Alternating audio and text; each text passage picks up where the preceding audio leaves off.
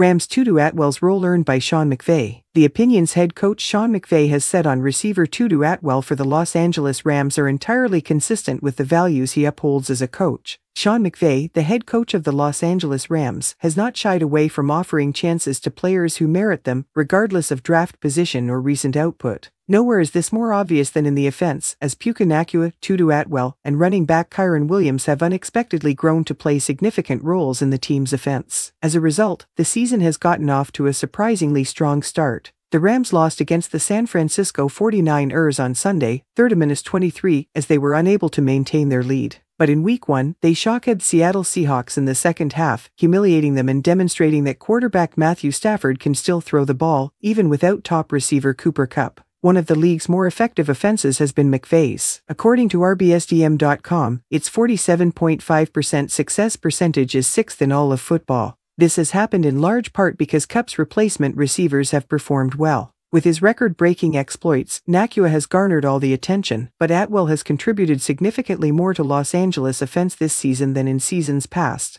Last year, he hauled in 18 passes for 298 yards. Atwell has 196 yards and 13 receptions after two weeks. Through the air, he has already produced more first downs than he has previously. Atwell's progress and the values he constantly espouses are clearly taken into consideration in his attitude towards the receiver. Atwell has earned every bit of this chance on a squad with few established starters after camp. I'm really happy for Tutu, McVay said in his closing statement. In a Super Bowl LVI rematch against the Cincinnati Bengals on Monday Night Football, Atwell and the Rams will travel with their ostensibly potent offense.